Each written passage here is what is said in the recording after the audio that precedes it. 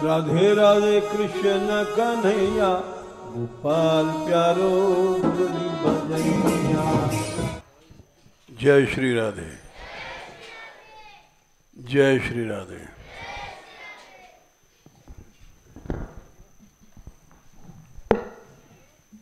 कुछ देर लग गई हमको आज, क्योंकि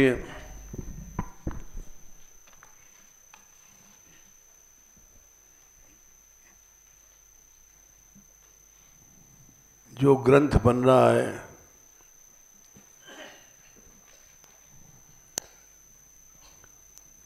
रसीदी ब्रज यात्रा का दूसरा खंड।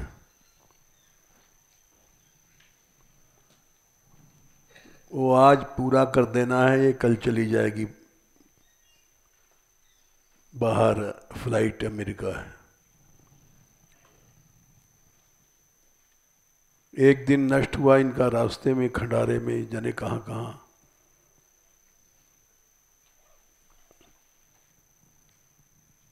तो उस कमी को पूरा करने के लिए अभी हम कुछ देख रहे थे। उस ग्रंथ का लक्ष्य ये भेद बुद्धि हट जाए, यद्यप ये हट नहीं सकती है, हम जानते हैं। संप्रदायों में जो भेद है, ये भेद हट नहीं सकता है। ये वैष्णवी माया है।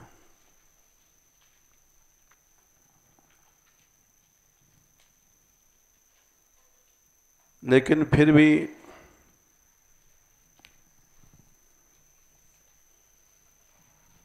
प्रयत्न तो करना ही चाहिए। इसी दृष्टि से पहला खंड बनाया गया था और उसमें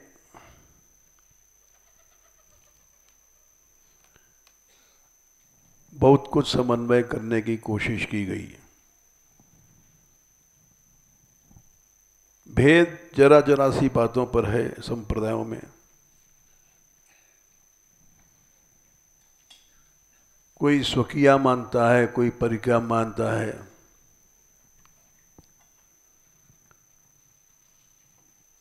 और कोई विवाह नहीं मानता है, कोई विवाह मानता है।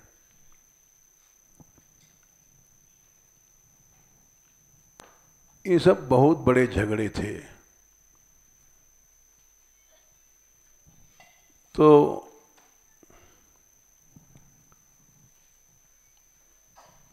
ग्रंथों पे झगड़े थे सुधा निधि कोई कहते हैं, हमारी है, वो कहते हैं, हमारी है।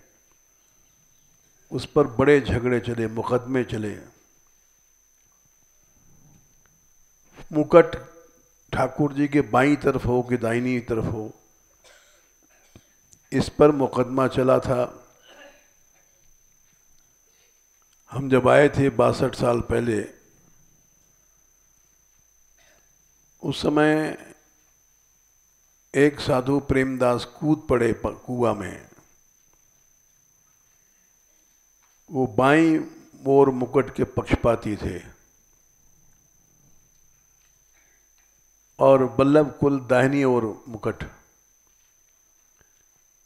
इस पर बड़ा मुकदमा चला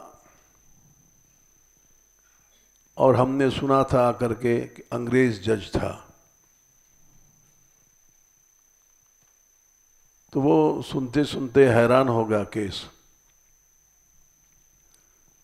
क्योंकि ये भी अपना प्रमाण देते थे। मुकुट बाई तरफ़ है, वाम बाहु कृत वाम कपोलो।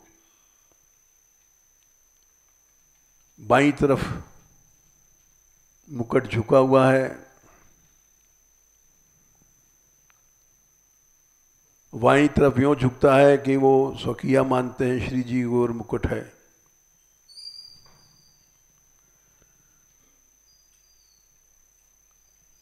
और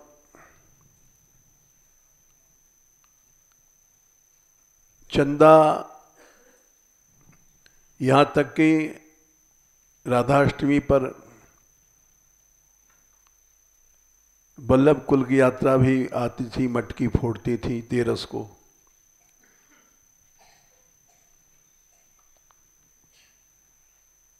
जब ये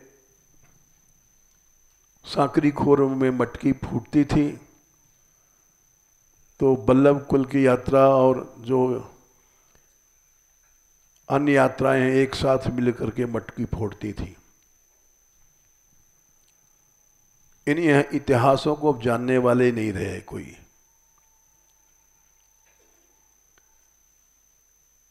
कोर्ट ने फैसला दिया कि इस दिन मटकी फूटेगी, इस दिन बाई तरफ़ मुकुट रहेगा।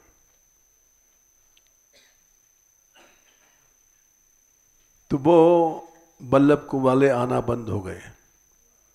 उनका आग्रह था दानी और का।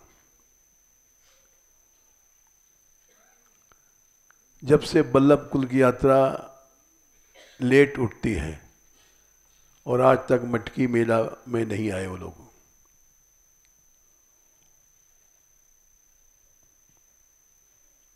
ये सब झगड़े जब हमने सुने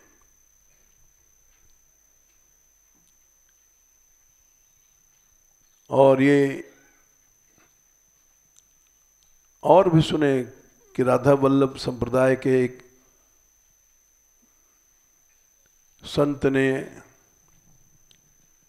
एक गौड़िया वैष्णव की अदालत में दांत से नाक काट लिया। वो साबूत पेश कर रहा था प्रबोधानंद जी का। तो ये बोले कि हम चाहे मर जाएँगे, अदालत में ही हम उन्होंने गुस्सा दिखाया और दांत से उसका नाक काट लिया। सजा वजा थोड़ी बहुत भई होगी, भोग लिया होगा।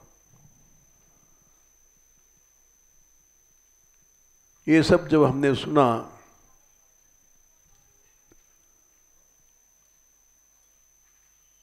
और गौड़ियों में भी आपस में बड़ा झगड़ा था।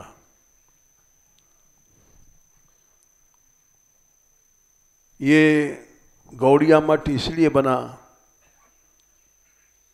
कि लाल कपड़े वाले सन्यासी और जो बाकी गौड़िया सफ़ेद कपड़े वाले थे, उनको बाबा जी कहते थे और अपने आप को मुख्य गौड़िया मानते थे। इस पर भी बड़ा झगड़ा था। महाप्रभु जी ने दंड तोड़ दिया, सन्यास को तोड़ दिया। इसलिए ये लाल कपड़ा वाले गौड़िया नहीं हैं। सफ़ेद कपड़े वाले ही वास्तव में महाप्रभु के मार्ग पर चल रहे हैं। राधा कुंड में रघुनाथ दास गोस्वामी वगैरह श्वेत वस्त्र पहनते थे। इस पे बड़ा झगड़ा चला। और इतना झगड़ा चला कि राधा कुंड में अलग स्थान मंदिर बना रहे हैं लाल कपड़ा वाले गौड़िया। ये सब घटनाएँ जब घटी हमारे सामने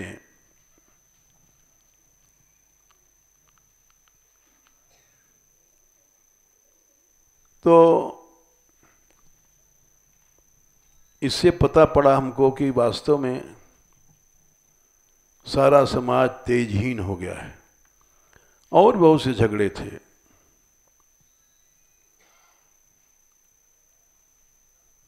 अगर ये भेद मिट जाए तो सारा समाज तेजस्वी बन जाए।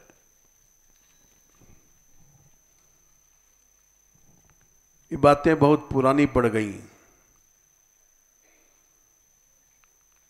नित्य विहार वाले, टटिया स्थान वाले, जब हम वहाँ टटिया स्थान में पहुँचे थे साठ साल पहले तो वहाँ परिचय दिया, ये ब्रज में रहते हैं। यानी ब्रज अलग है और वृंदावन अलग है। हमको वहाँ बड़ा धक्का लगा।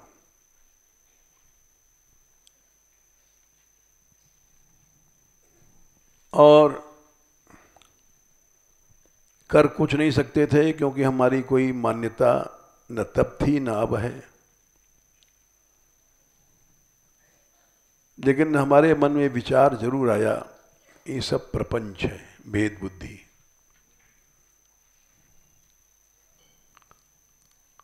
और इस भेद बुद्धि को लोग रोज बढ़ा रहे हैं। ब्रज अलग है, नित्य विहार अलग है, वृंदावन अलग है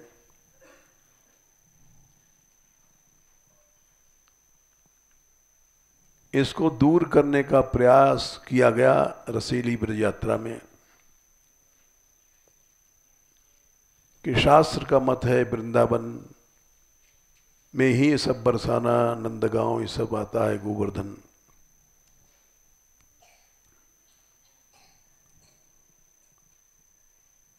अब दूसरा खंड निकल रहा है तो इसमें भी दृष्टि यही है कि समन्वय रहे सब में।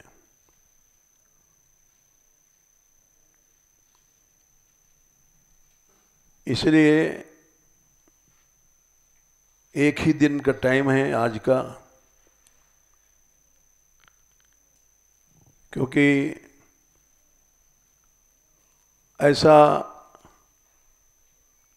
मत अन्य लोगों में नहीं है।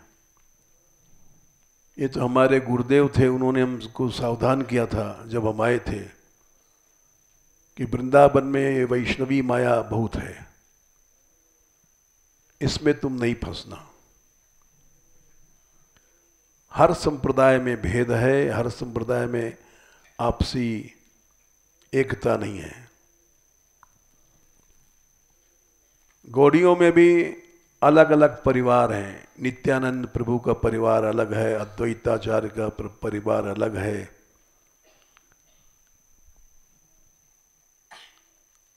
और उनके वंशज अलग हैं। निम्बारकियों में भी साढ़े बारह द्वारा हैं। और उनमें आपस में एकता नहीं है। सोभू राम देवाचार्य वाले अपने को मुख्य आचार्य गद्दी का अधिकारी मानते हैं। टोपी कुंज वाले अलग हैं। ये कहते हैं, हम प्रधान हैं। ये सारी बातें वैष्णव समाज को दुर्बल कर रही हैं। और जैसे एक दो प्रमाण देते हैं भगवान ने स्वयं कपिल देव ने कहा है, तीसरे स्कंद के उनतीसवें अध्याय में, इक्कीसवां, बाईसवां, तेईसवां, चौबीसवां श्लोक। किसी भी प्राणी का अवज्ञा करोगे, तुम्हारी अर्जा पूजा विडंबन ढोंग हो जाएगी। कुछ फल नहीं देगी। वहीं पर बाईसवें श्लोक में आया है कि किसी की उपेक्षा करोगे तो तुम्हारा सारा भजन भस्म में जैसे यज्ञ किया वैसे बेकार गया। वहीं तेईसवें श्लोक में फिर कहते हैं द्वेष से तुम्हारे मन को शांति कभी नहीं मिलेगी। वहीं पर चौबीसवें श्लोक में कहते हैं, किसी का अपमान करोगे तो मैं संतुष्ट नहीं हूँगा चाहे तुम कितने भी हमारी पूजा कर लो उच्चावचर द्रव्य ही बहुत से द्रव्यों से कोई छप्पन भोग लगाता है, कोई कुछ लगाता है, भगवान संतुष्ट नहीं होते।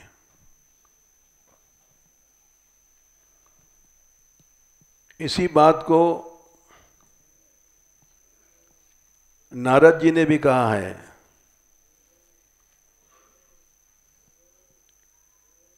कि तुम्हारा भजन प्रभु स्वीकार ही नहीं करेंगे।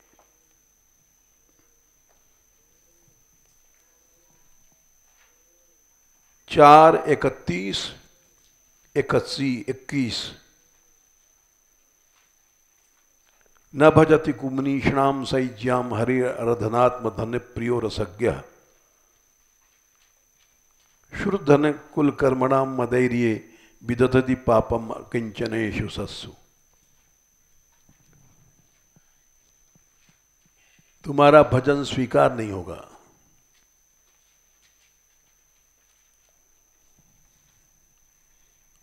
और यही कारण है कि आज इतना वैष्णव समाज तेजहीन हो रहा है।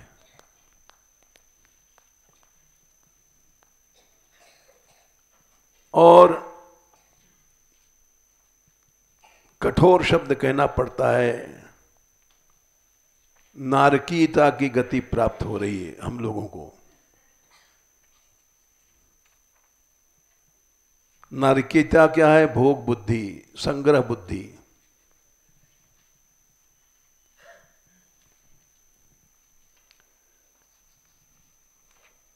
विमुखता।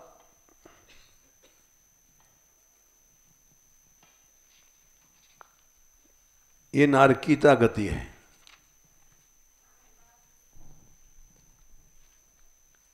ये इसका प्रमाण है तीसरे स्कंद में, सोलहवें अध्याय में।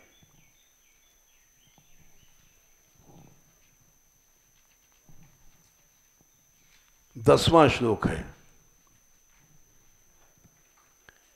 ये में तनूर, ये वैष्णव सब हमारे शरीर हैं। द्विजवरान मन श्रेष्ठ ब्राह्मण, अर्थात भक्त। भक्तिहीन ब्राह्मण श्रेष्ठ नहीं है। द्विजवर मने भक्ति युक्त ब्राह्मण है। वर शब्द लगा दिया, ब्राह्मण श्रेष्ठ तभी बनता है जब उसमें भक्ति आती है।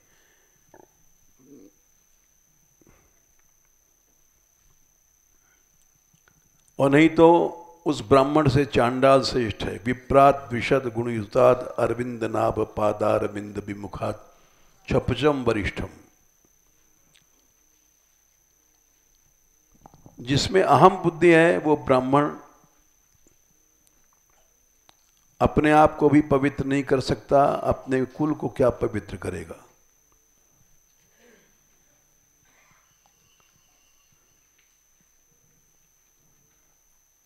क्या संख्या है? हैं? हाँ। न तो भूरी माना। भूरीमान मने अगर उसमें अहम बुद्धि है तो अपने को ही ब्राह्मण पवित्र नहीं कर सकता, बाकी कुल को क्या पवित्र करेगा? और वो चांडाल अपने कुल को पवित्र कर देगा।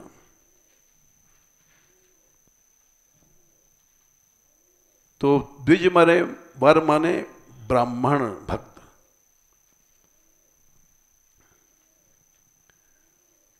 भक्तिहीन बिरंचिकिन होई, सब जीवन संप्री में सोई। भक्तिहीन तो ब्रह्मा भी पूज्य नहीं है। शपचौ श्रेष्ठ होत पद सेवत बिन गोपाल द्विज जन्म न भावे। सोई भलो जो राम ही गा, श्याम ही गावे।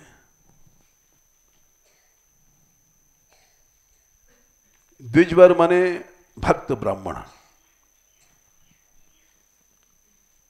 दूतीर मदिया गाय दूध देने वाली। और भूतानि अलब्ध शरणानी, अनाथ प्राणियों को। इनमें जो भेद बुद्धि से देखते हैं वो निश्चित नार की गति को प्राप्त होते हैं। ये भगवान ने स्वयं कहा है। क्यों? अघक्षत दृशो। अघ माने भेद बुद्धि से उनकी आँखें फूट गई हैं। दृश्य माने ये चमड़े की आँखें नहीं हैं।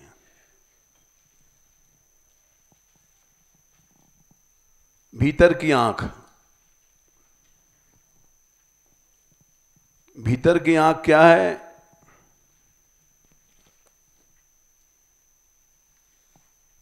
चौथे स्कंद में इसको समझना चाहिए।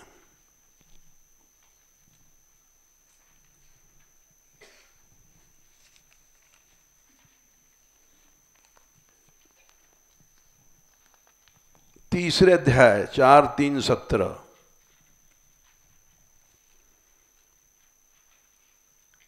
भृतमान दुर्दृश शब्द आया है। मान माने अहंकार। अहंकार से दृष्टि अंत चेतना दुर्मने दूषित हो जाती है।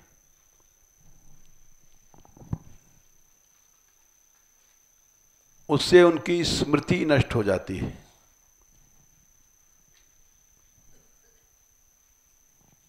तो वो आँख फूट जाती है। द्रक्षंत अघक्षत्र दृशो वो उसका अर्थ यहाँ खोलेगा।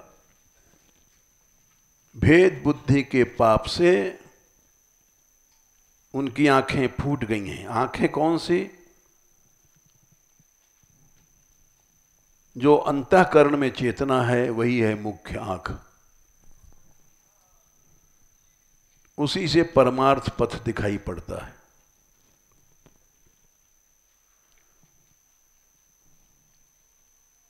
और अहम भाव किसी में है, चाहे हम कैसा भी तिलक लगावें, गौड़ियाँ हैं, चाहे निम्बारकी हैं, चाहे कुछ भी हैं तो हमारी आँख फूट जाती है।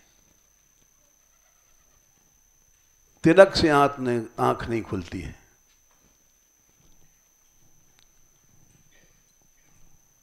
आँख फूट जाती, दैन्य नहीं है तो आँख फूट गई।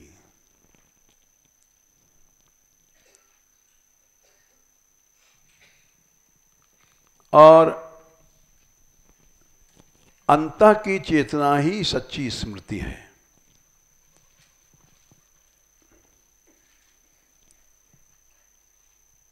अंत की चेतना जाने के बाद आँख फूट गई और स्मृति नष्ट हो गई।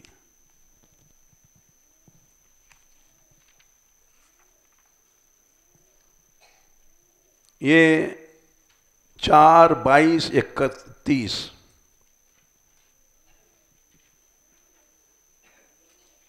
मन ने चेतना को चुरा लिया, चार, बाईस, तीस ये मन सबसे बड़ा चोर है। बुद्धि की चेतना को चुरा लेता है।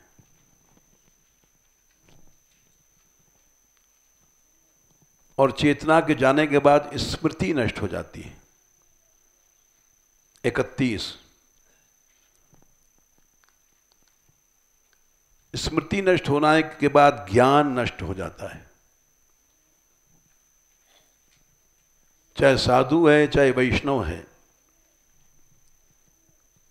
जिसकी स्मृति चली गई, क्यों चली गई? अहम भाव से। हम भक्त हैं, हम रसिक हैं, हम विरक्त हैं। साधु को यह भी नहीं सोचना चाहिए, हम साधु हैं। नो बनस्थो यतिर्वा। महाप्रभु जी ने कहा है हम बानप्रस्थ भी नहीं हैं, हम सन्यासी भी नहीं हैं। हम क्या हैं? किंतु प्रोजन निखिल परमानंद पूर्णामृताब्धेर, गोपी भरतुर पद कमलयोर दास दासानुदास। दासों के दास के दास, छोटे से छोटे छोटे बनते जाओ। ये सच्ची स्मृति है और बाकी सब स्मृति गलत है। हम सन्यासी हैं, हम साधु हैं, हम महंत हैं, हम प्रेसिडेंट हैं। ये सब बातें गलत हैं। तृणादपि सुनीचे ने के खिलाफ ये सब बातें हैं। वही समाज में चल रहा है चारों ओर। उससे स्मृति नष्ट हो जाती है। स्मृति नष्ट होने के बाद ज्ञान नष्ट हो जाता है। ज्ञान नष्ट होने के बाद नाश हो जाता है जीव का। और उस नाश के बाद नारकी गति हो जाती है।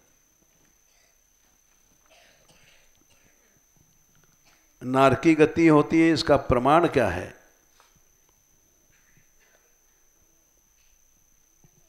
इसका प्रमाण भगवान के वाक्य हैं।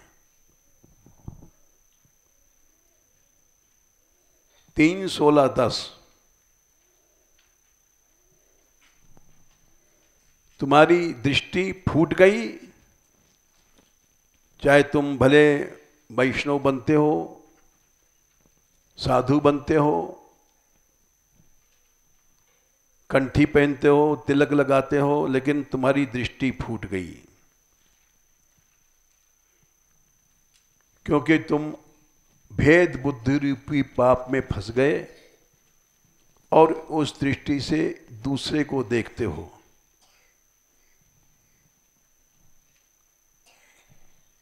इसलिए इसका दंड तुमको मिलेगा। तुम भले भजन करते हो, नरक में जाओगे। वहाँ सर्प के समान क्रोधी, गीध तुमको नोच नोच के खा जाएँगे।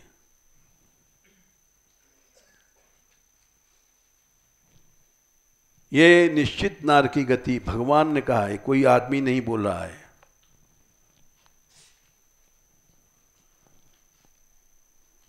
तो भेद बुद्धि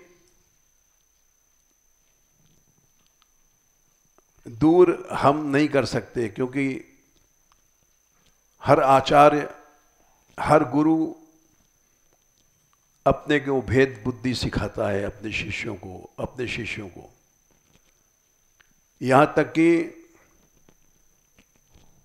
हमारे पास सखी शरण जी थे, एक महात्मा, वो सीधे आदमी थे। वो छह जगह शिष्य बने। जहाँ जाएँ, वहीं कहें, हमारे यहाँ जो रस है, वो कहीं नहीं है।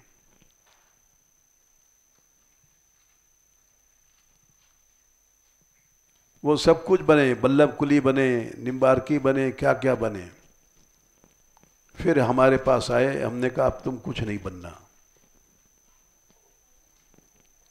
जो बन गए हो इसी भजन करो।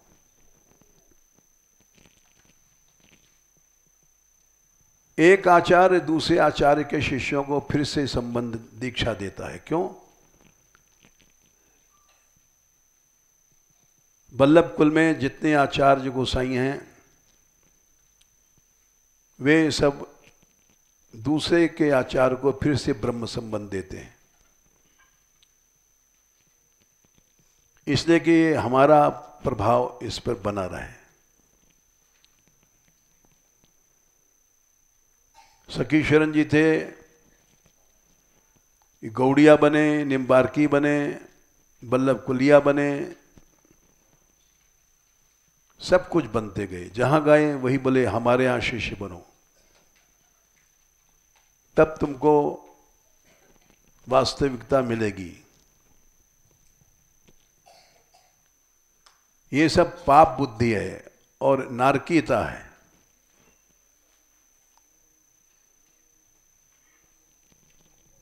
इसको मिटाने की कोशिश हम जैसे तुच्छ आदमी क्या कर सकते हैं? न हम आचार्य हैं, न हमारा कोई स्वभाव प्रभाव है।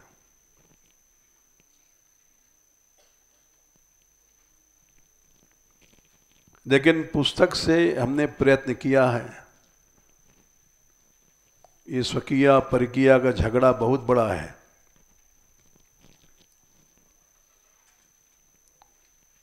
परकिया वाले ज़्यादातर गौड़ियाँ हैं। स्वकिया वाले निम्बार की राधा वल्लभी हैं।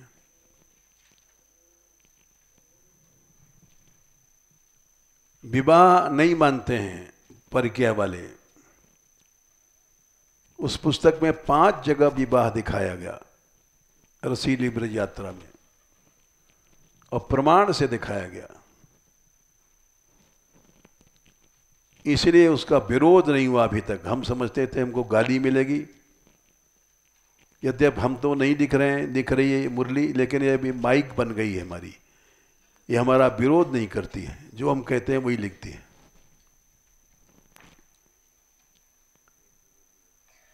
ये विरोधी बैठे राधाकांत। ये बराबर कहते हैं, आप ऐसी बात मत लिखिए जिससे समाज में लोगों को बुरा लगे। लेकिन ये लिख देती मीठे शब्दों में। इसीलिए शायद आज से कितने साल पहले वो रहता था आनंद गोपाल यहाँ?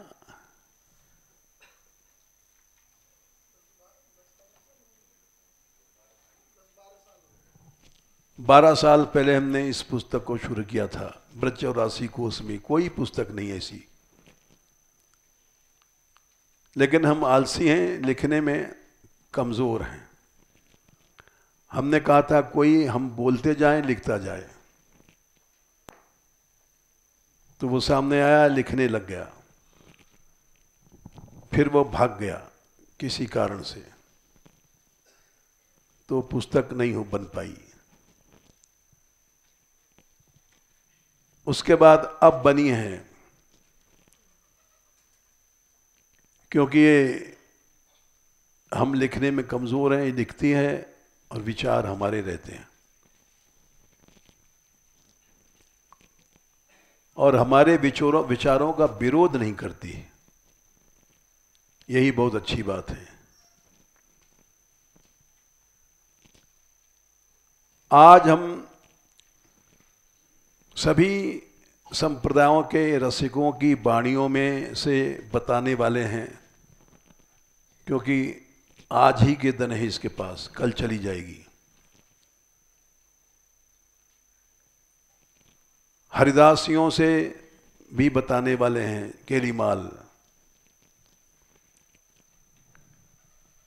वो लोग एकदम अलग कर लेते हैं अपने आप को, कहते हैं, नित्य विहार अलग है सबसे। ब्रज से अलग है। और ब्रज अलग है।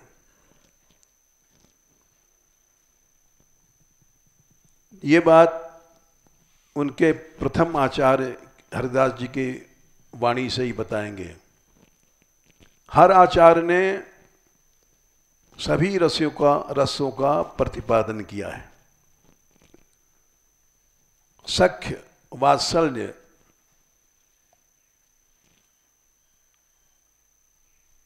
इनका खंडन नहीं किया किसी ने। नीचे वाले करते आए खंडन। भेद बुद्धि नीचे नीचे बढ़ती है।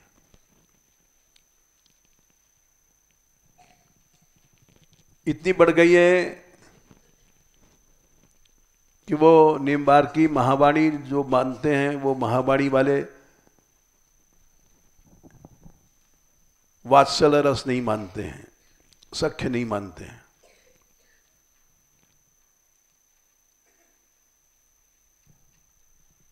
इसका हम प्रमाण ढूंढ रहे थे, इसलिए हमको देर लग गई आज। सभी आचार्यों ने सब रस माने हैं।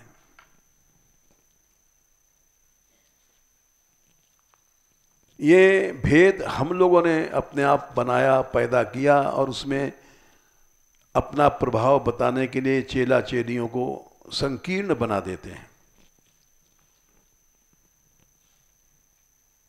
संकीर्णता को ही हमने रस बना रखा है।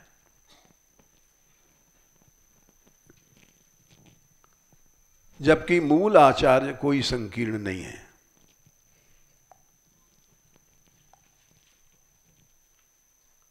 जैसे राधा बल्लभ संप्रदाय के मूल आचार्य हैं हरवंश जी।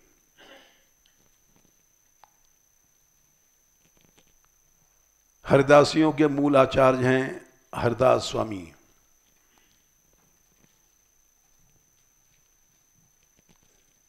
उसी तरह से महावाणियों के मूल आचार्य ग्रंथकार हैं हरिव्यास जी। इन सभी ने सभी रस का पोषण किया है, विरोध नहीं किया है।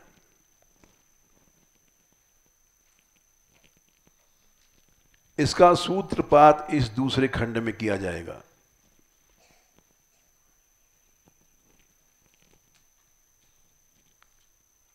और प्रयत्न किया जा रहा है, लेकिन हम जानते हैं कि हमारा प्रयत्न सफल नहीं होगा। क्योंकि हर संप्रदाय में भेद बुद्धि ही सिखाई जाती है।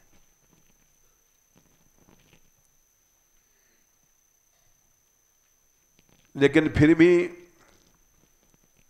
जैसे पहला खंड सफल हुआ, विरोध नहीं हुआ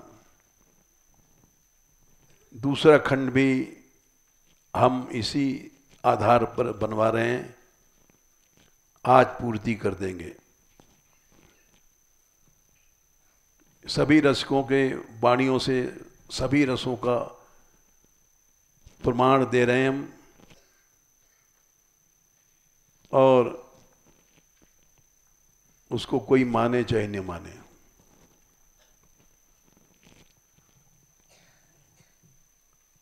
इतना अवश्य है। लड़ाई इतनी बढ़ गई है कि भक्तमाल में कथा है। रसिक मोराजी जी की और श्यामानंद जी की। ये प्रमाण है।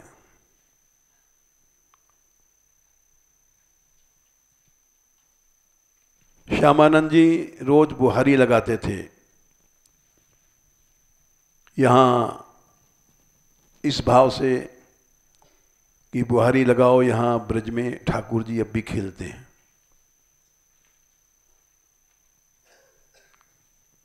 उनके इस बात पर राधा रानी रीझ गई, उनके इस श्रद्धा पर।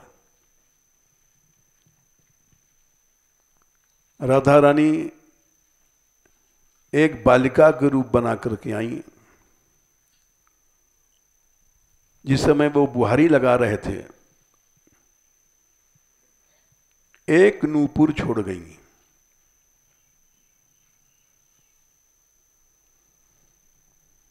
एक नूपुर छोड़ गई और ये श्यामानंद जी पहुँचे वहाँ बुहारी लगाने।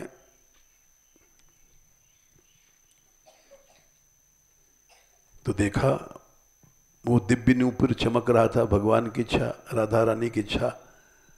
कृपा करने की थी।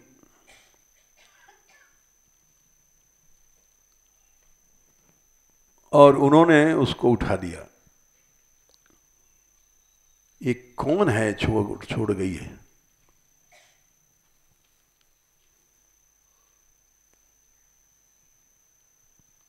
श्री जी गई और उन्होंने, ललिता जी ने पूछा, राधे, तुम नूपुर कहाँ छोड़े आई हो?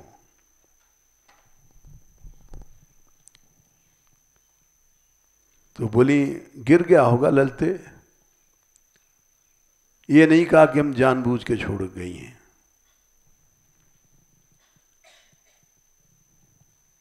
अच्छा तो मैं लाती हूँ। ये वही ब्रज है दिव्य। इसमें अगर भावना से सेवा किया जाए तो वही नित्य धाम मिलता है।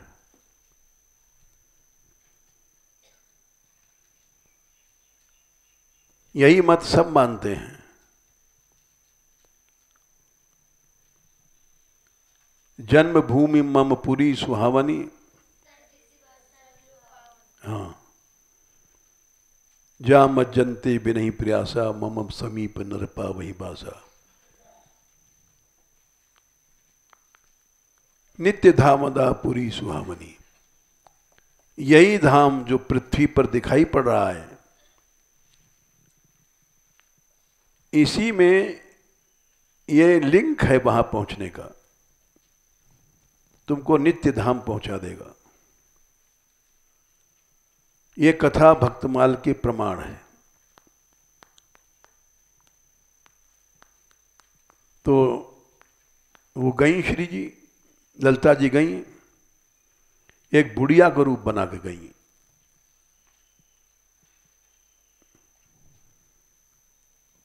और श्यामानंद जी वहाँ बैठे थे।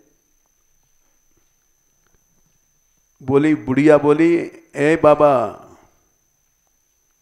बोले, क्या है? हमारी बहू आई थी यहाँ। उसका एक नूपुर गिर पड़ा है।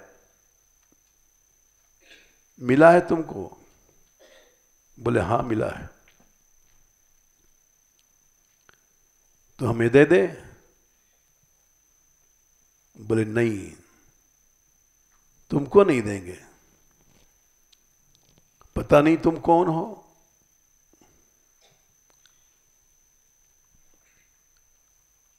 वो बोली, हमारी बहू थी, हम उसकी सास हैं। सास हो, ठीक है, लेकिन दोबारा वो फिर मांगने आई तो हम कहाँ से देंगे? जाने तुम कौन हो?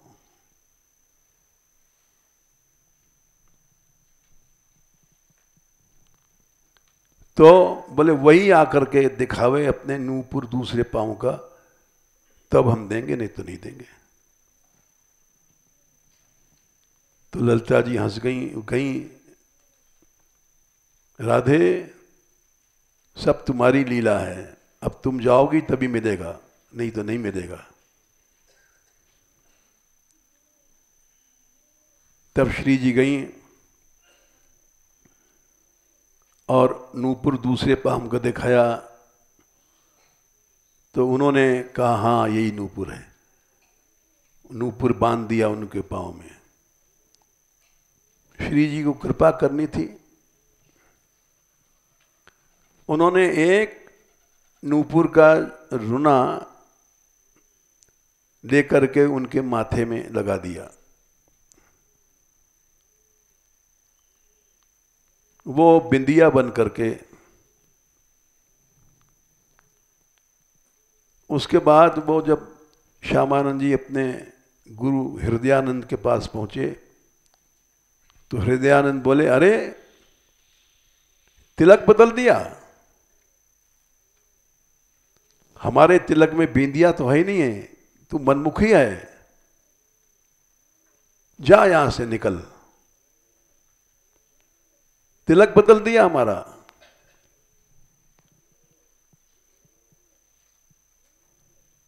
तो वो बोले, गुरुदेव, हमने नहीं बदला है। ये श्री जी ने बदला है। झूठ बोलता है, श्री जी श्री जी आई होंगी तेरे पास। हम तेरे गुरु हैं इतने दिन से माला फेर रहे हैं और हमारे पास तो आई नहीं, तेरे पास आ गई। झूठ बोलता है, सिद्ध बनता है। जा तो उसको हमने संप्रदाय से निकाल दिया।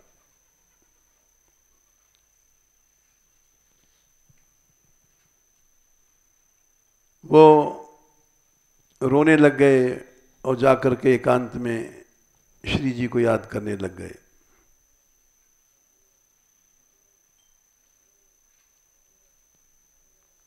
उनके गुरु जी थे उसख्य भाव के थे। जिस भाव का होता है, उसने मूल आचार्य सखा हैं कि सखी हैं, वहाँ से जोड़ता है। वो सुबल के परिकर में अपनों को मानते थे। तो श्री जी ने कहा, सुबल, तुम जाओ और गवाही दे आओ कि हाँ ये नूपुर हमने लगाया है. सुबल आए। अब लीला के परकरें साक्षात तो नहीं आ सकते। उन्होंने तमाल के पेड़ के पीछे खड़े होकर के गवाही दिया कि, अरे हृदयानंद जी ये नूपुर श्री जी ने लगाया है। ये सत्य बात है। सबने सुना, आकाश वाणी आ रही है, दिखाई नहीं पड़ रहा है कोई। मैं सुबल हूँ। श्री जी ने भेजा है।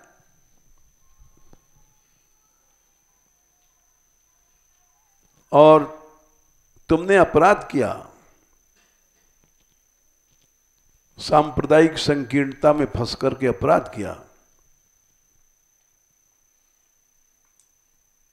इसलिए तुमको दंड भोगना पड़ चाहिए।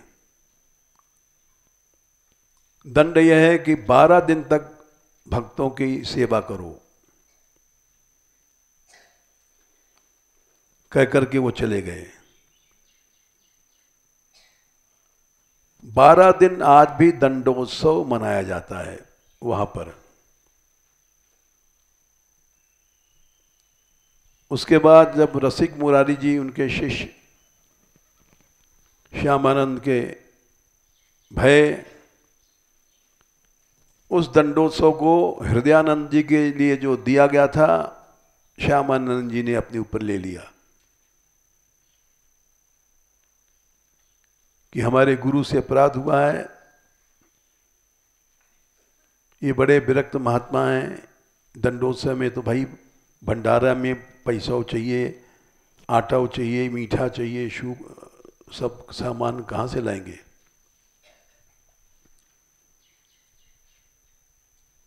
शिष्य वही है जो गुरु के भजन को स्वयं उठा लेता है। तो श्यामान जी करने लग गए दंडोत्सव श्यामानंद के चेला भय रसिक मुरारी। रसिक मुरारी भय, उन्होंने कहा, अब ये दंडोत्सव हम करेंगे। उनमें सामर्थ्य ज़्यादा थी। उत्सव के लिए बड़ा सामर्थ्य चाहिए, पैसा चाहिए। अकेला आदमी क्या कर सकता है? रसिक मुरारी जी भक्तमाल में कथा है, बड़ी लंबी। उनके दंडोत्सव में बड़ी घटनाएँ घटी हैं। तो ये संकीर्णता इतनी है कि भगवान भी आकर के अगर हम लोगों को भेद बुद्धि दूर करो, सिखाओ, सिखाता है तो नहीं सीख पाएँगे। तो हम तो एक कीड़े हैं। हमारा प्रयत्न बेकार है। लेकिन फिर भी इस दूसरे खंड में आज हम कल चली जाएगी। आज इसको हम सब संप्रदायों का प्रमाण देंगे। उसको लिख देगी। और लिखने के बाद वहाँ लिखेगी बाहर अमेरिका। इंटरनेट से तुरंत भेज देगी, यहाँ वो पुस्तक छप जाएगी। इस तरह से जो प्रयत्न हमारा बहुत साल पुराना था, एक ऐसी पुस्तक लिखने का, वो अब पूरा हो जाएगा। तब तो नहीं पूरा हुआ था, भगवान की इच्छा थी, वो लिखने वाले चले गए थे यहाँ छोड़ छाड़ के। जिस पर कृपा होती है, जिससे काम लेते हैं प्रभु, उसी को सामर्थ्य देते हैं। जैसे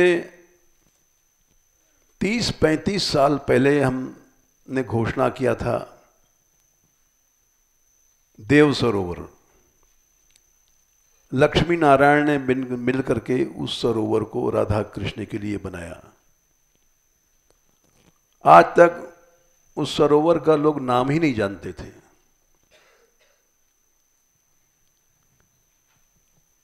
राधा रानी, कृपा भई, हमारी यात्रा शुरू भई, हमारी तो नहीं, ठाकुर जी की यात्रा है, हमारी कहाँ से लेकिन व्यवहार में कहना पड़ता है। हम जब वहाँ पहुँचे तो वो महंत गोपीदास जी थे। वो हमें ले गए, बोले, महाराज, ये है देव सरोवर। क्यों हम नए थे? नया आदमी क्या जान सकता है? वो परंपरा से सुनते आए थे। उसको फिर हमने प्रमाण खोजा, गर्ग संगीता मिल गया। क्योंकि प्रमाण चाहिए। फिर हम भी वहाँ यात्रा ले जाने लग गए। उसके पहले कोई यात्रा नहीं जाती थी। ये जो यात्रा शुरू भई मान बिहारी लाल की दया से, इससे बहुत से स्थानों का प्राकट्य हुआ। क्योंकि इस यात्रा में सांप्रदायिकता नहीं है। और यात्राओं में सांप्रदायिकता है। जैसे बल्लभ कुल के उठेंगे तो केवल वहीं जाएँगे जहाँ महाप्रभु जी की बैठक है। गोड़ियाँ उठेंगे तो ज़्यादातर जहाँ राधा कुंड वगैरह, जहाँ उनके रघुनाथ दास गोस्वामी आदि रहे गिरिराज जी वगैरह वहीं जाते हैं।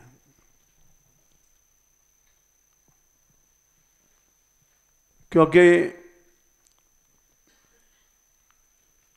खैर, हम इस सबसे अलग थे। इसलिए देव सरोवर भी गए। और जाने लग गए। और यात्राएँ चमेली बन भी नहीं जानती थी। और यात्राएँ रासोली नहीं जानती थी। रासोली पहली बार हमारी यात्रा पहुँची। रासोली से ही रास शुरू हुआ था। जीव गोस्वामी जी ने लिखा है। बहुत से स्थल नए नए प्रकट भय देव सरोवर भी हमने सोचा था, घोषणा किया था, पैसा नहीं था। जाते थे वहाँ, बस बता देते थे। और भगवान की कृपा भाई, एक व्यक्ति ने हिम्मत किया विदेश का कि बाबा का संकल्प पूरा होना चाहिए। हमारी एक प्रॉपर्टी है, हम बेच देंगे।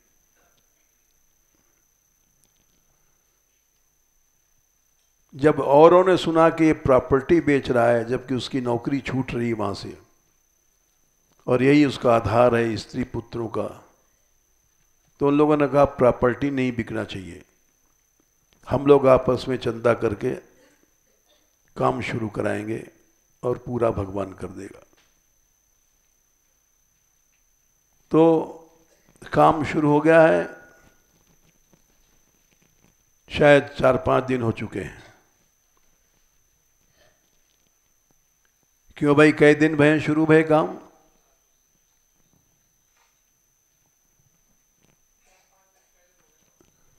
चार पाँच दिन पहले, ये शुक्ला जी हैं। ये जब आए थे यहाँ तो लोगों ने विरोध किया। हमारे पास रहने वालों ने विरोध किया। ये गड़बड़ आदमी हैं। इन्होंने दया करके एक महिला है, उसको ब्रजवास दिया है। लोग उसको अच्छा नहीं समझते थे। और दुनिया भर की बातें बनाते थे। हमारे पास रहने वाले सब खिलाफ थे।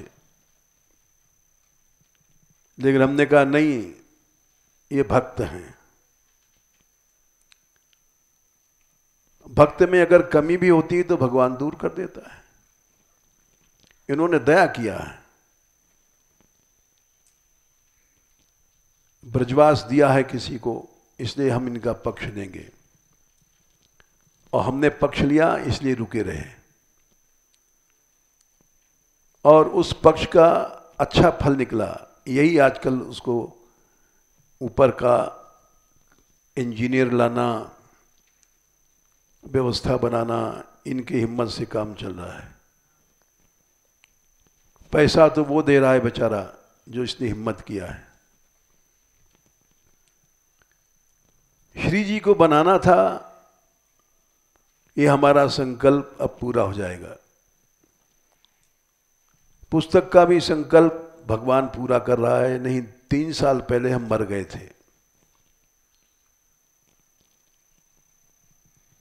पुस्तक बनानी थी, इस सरोवर बनाने थे। हमने सोचा था, दो झील हैं, ब्रज में कोई झील नहीं है। एक तो ये है, दूसरी राकोली के पास। वहाँ भी विचार है, अभी तो उसका संयोग नहीं है, लेकिन शायद हमारे जीवन काल में ही बन जाएगा। समय ज़्यादा हो गया Yeah.